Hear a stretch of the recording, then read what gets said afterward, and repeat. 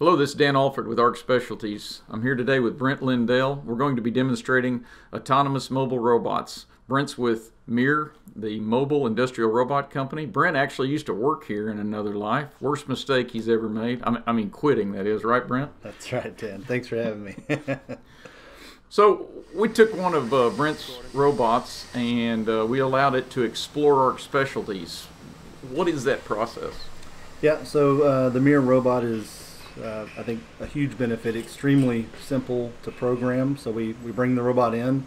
Uh, we use that robot to map the facility. We create the, the points and the missions all through the interface that's provided. Uh, so flexible, extremely simple to, to operate, extremely simple to, uh, to add top modules to it. So the goal is just uh, ease of implementation and uh, allowing the operator to interface with it as, as simple as possible. So what we just saw there was our, our uh, automatic saw and Poncho was sending parts over to the welding area. He simply loads the parts into the carrier, presses the button as to where to send it next. Now uh, looks like Estacio is sending the parts on to the machine shop. Yeah, and our goal is really to, to let the robot handle that non-value add, kind of uh, let it do the material flow through the facility uh, and let your operators you know, focus on their tasks, more time at doing what they do best, and then let the robot, um, you know, travel through the facility and, and, and handle those parts.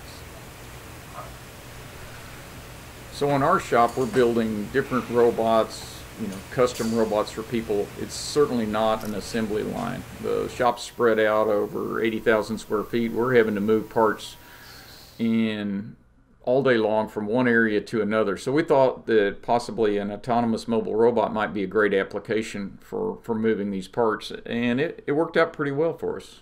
Yeah, I think the advantage, Dan, is the older technology, AGVs or auto-guided vehicles, required uh, wire embedded in the floor, tape, overhead sensors, and so you were set to a predetermined route. If something got in the way, the robot would just stop. Uh, also, with your shop, is much as it changes, uh, it would be really, really tough to have an AGV travel through your shop with all the, the moving parts. And so with the AMR, the autonomous mobile robot, uh, we bring that robot in. As I said, we map it out, and now the robot has the ability to decide its route based upon the floor space that's available for it.